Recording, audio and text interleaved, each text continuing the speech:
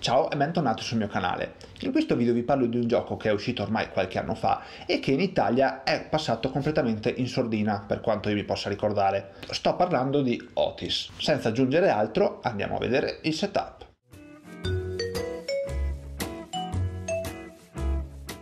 La partita viene giocata su un tabellone principale, quello della colonia, e su una plancia personale, ovvero il settore di ricerca di ogni giocatore. Per quanto riguarda la plancia personale, ogni giocatore ottiene i componenti del proprio colore, prende quindi le chiavi con il lato attivo rivolto verso l'alto e le posiziona negli appositi spazi dall'1 al 5 con la X qua sopra. Si prendono poi le due tessere tecnico, l'hacker e il meccanico, e le si mette sulle posizioni di partenza, alla destra e sotto la plancia. Si prendono poi le tessere sommozzatore, si mescolano casualmente e si posizionano qui sopra. Bisogna stare attenti che ogni sommozzatore sia con il lato non equipaggiato rivolto verso l'alto. Il lato non equipaggiato è quello con questo simbolo giallo in basso a destra. Ogni giocatore ottiene un cubo risorsa per tipo e, senza guardarle, ne posiziona uno per ogni zona di scavo, eccetto la zona di scavo numero 1. Ogni giocatore poi ottiene 3 crediti e un segnalino batteria. E per quanto riguarda la plancia giocatore abbiamo terminato. Continuiamo quindi con la colonia. Si mettono tutti i segnalini ricompensa nel sacchetto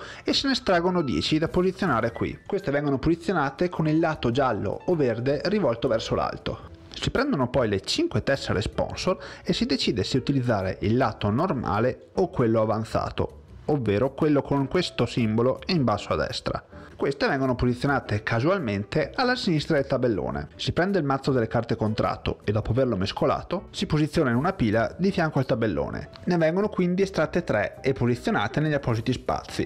Attenzione, in due se ne estraggono invece soltanto due e uno spazio rimarrà vuoto per tutta la partita. Tutte le risorse, i crediti, le batterie e le chiavi neutrali X vengono posizionate a portata di mano. Vengono quindi presi tre cubi di tre colori diversi e si posizionano negli appositi spazi sul mercato e poi viene posizionata un'altra risorsa fra quelle già presenti nel mercato. In questo modo, ad esempio. Ogni giocatore poi mette la propria pedina segnapunti sullo zero sulla tabella della classifica della colonia.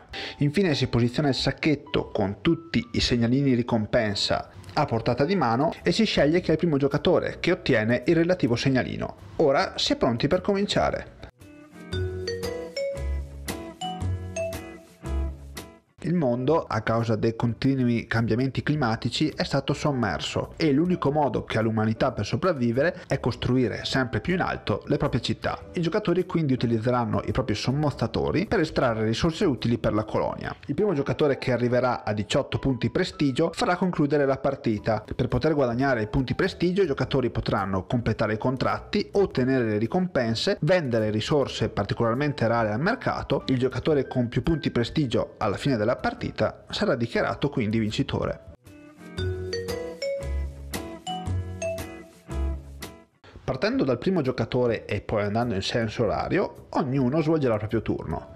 La prima cosa che deve fare un giocatore durante il proprio turno è scegliere se utilizzare una chiave numerata o una chiave X. Se il giocatore sceglie una chiave numerata, deve innanzitutto prenderla e spostarla verso destra in modo che sia adiacente al sommozzatore di quel livello. A questo punto il turno si divide in tre fasi. Nella prima fase il giocatore beneficerà della tessera sponsor che è sullo stesso livello della chiave che ha appena utilizzato. Vedremo poi nello specifico i bonus che danno le tessere sponsor. Dopo aver ottenuto il beneficio della tessera sponsor, il giocatore può decidere di spendere un segnalino batteria per attivare il propulsore di quel sommozzatore. Può quindi decidere di spostarlo in su o in giù di un numero di spazi pari o minore minore a quanto indicato di fianco al segnalino meccanico, in questo caso quindi uno spazio. Il giocatore quindi sposta anche gli altri sommozzatori in su o in giù per fare spazio a quello che si è appena mosso. Si passa perciò alla fase 2. Qui il giocatore sposterà nuovamente verso destra il segnalino chiave, andando così ad attivare l'abilità particolare del sommozzatore. In questo caso il giocatore ottiene un cubo verde piante che andrà a posizionare nella zona di scavo del piano in cui si trova il sommozzatore che ha appena attivato. Da notare che ogni piano ha un numero di posti finito, se quindi non c'è più posto non è possibile ottenere risultati risorse in questa maniera. Si passa ora alla fase 3. Il giocatore gira il proprio segnalino chiave e lo posiziona sul tracciato hacker, nello spazio più a sinistra libero possibile. Viene da sé quindi che man mano che i turni passano, il giocatore avrà sempre meno opzioni da poter utilizzare. Però quando i segnalini chiave utilizzati arriveranno a toccare il segnalino hacker, il giocatore li recupererà tutti e li riposizionerà come abbiamo visto durante il setup. A questo punto il giocatore deve far risalire in superficie il sommozzatore appena utilizzato. Prende la tessera relativa, sposta di conseguenza tutti gli altri sommozzatori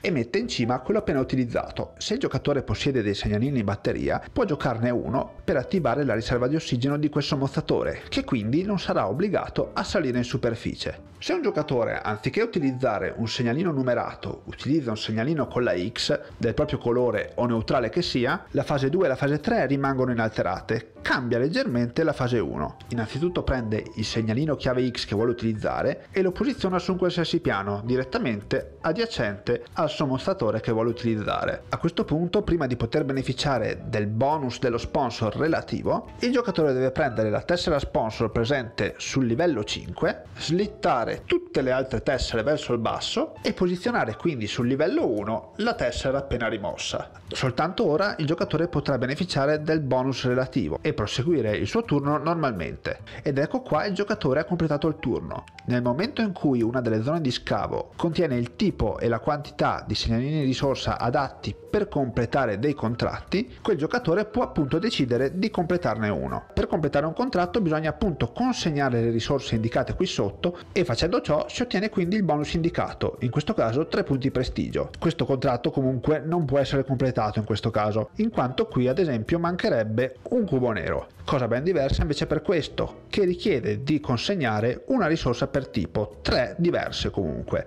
In questo caso quindi potremo prendere queste tre risorse, rimetterle nella riserva e ottenere i punti indicati. Questo contratto inoltre conferisce a chi lo completa un segnalino batteria. Non appena si completa un contratto, si prende una nuova carta del mazzo e la si posiziona nello spazio rimasto vuoto. Quando un giocatore ha terminato le tre fasi che ho appena spiegato e eventualmente completato contratti, passa la mano al giocatore successivo. Non appena uno dei giocatori raggiunge il diciottesimo punto prestigio, si attiva la fine della partita, si completa il round in modo che tutti i giocatori abbiano fatto lo stesso numero di turni e chi ha più punti alla fine di quel round è decretato vincitore. In caso di parità vince il giocatore con più risorse nelle proprie zone di scavo, in caso di ulteriore parità la vittoria è condivisa.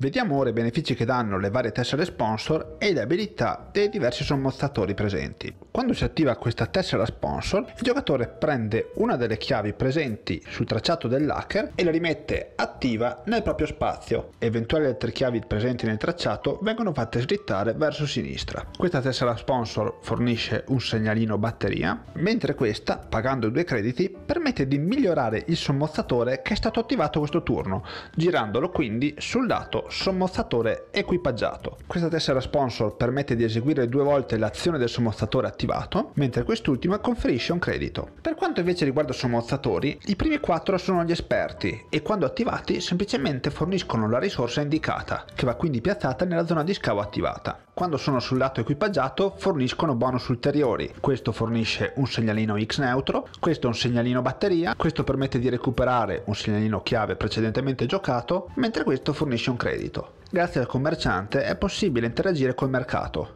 In base alle risorse presenti nel mercato e quelle che abbiamo disponibili nelle zone di scavo, è possibile venderne o comprarne una. Se si decide di vendere bisogna innanzitutto verificare che ci sia almeno un posto per quella merce sul mercato. Il giocatore poi, in base alla merce venduta, guadagna o i crediti o i punti prestigio indicati, in questo caso per esempio un credito. Se si riesce a vendere una merce che non è presente nel mercato, si può scegliere fra tre crediti oppure un punto. Se invece il giocatore vuole comprare, deve ovviamente pagare quanto indicato, in questo caso perciò un credito. Nel caso si voglia acquistare una risorsa presente in unica copia, è possibile soltanto pagare in crediti, non in punti prestigio. Se il commerciante è stato migliorato, si ottiene un bonus di più 1 quando si compra e quando si vende. In questo caso, quindi, vendendo cubo tecnologia potremo guadagnare due crediti oppure un punto, mentre acquistando questo potremo pagarne soltanto due. Quando viene attivata la spia, il giocatore giocatore può, pagando un credito, pescare 4 carte contratto dal mazzo, sceglierne una da tenere e riposizionare le altre 3 sotto al mazzo dei contratti. In alternativa, sempre pagando un credito alla riserva, è possibile attivare un sommozzatore presente nello stesso livello di un giocatore alla propria sinistra o alla propria destra. Il sommozzatore in questione non è costretto a tornare in superficie e comunque il giocatore che ha attivato la spia deve eventualmente pagare eventuali costi che derivano dall'attivazione di quel sommozzatore. Attivare la spia migliorata invece non comporta alcun costo. Attivando l'ingegnere e pagando un credito si può decidere di migliorare il meccanico facendolo slittare in giù di una posizione oppure l'hacker facendolo slittare a sinistra di una posizione. Non è possibile migliorare il meccanico e l'hacker più di tre volte durante la partita. La versione equipaggiata dell'ingegnere permette di migliorare il meccanico o l'hacker gratuitamente. Infine, quando si attiva l'esploratore si possono pagare due crediti per guadagnare uno dei due segnalini ricompensa presenti sullo stesso livello dell'esploratore. Il giocatore quindi ottiene il bonus immediato indicato e poi gira sotto sopra il segnalino. Questo viene piazzato nella zona di scavo dove è presente l'esploratore e da questo momento in poi quando si attiva un sommozzatore e nella stessa zona di scavo è presente il segnalino che abbiamo messo, si otterrà il bonus indicato. In questo caso un punto prestigio, in questo invece due crediti. Il gioco, nonostante la tematica cerchi di nasconderlo, è un German fatto e finito. L'unico elemento aleatorio infatti lo abbiamo nella pesca delle carte e comunque ce ne sono sempre tre di scoperte disponibili per cui anche per quanto riguarda le carte la fortuna è abbastanza mitigata. Per quanto ho potuto vedere in Otis bisogna cercare di pensare qualche turno in avanti, rendendolo quindi un gioco molto strategico ma senza comunque trascurare la parte tattica e di opportunismo della mossa migliore del momento perché il tabellone potrebbe cambiare da un momento all'altro a causa causa delle mosse degli avversari. Quest'ultimo aspetto è ovviamente molto più presente quando si gioca in 3 o 4 giocatori che quando si gioca in 2. I componenti sono molto ben fatti, con una nota positiva soprattutto nella plancia del giocatore che è doppia e per i disegni molto evocativi anche se come ho detto prima la tematica è un po' un pretesto. Io come sempre vi ringrazio per avermi visto fino a qui, se avete dubbi, domande o commenti scrivetemi, vedrò di rispondere quanto prima, vi saluto e vi auguro buon gioco. Ciao!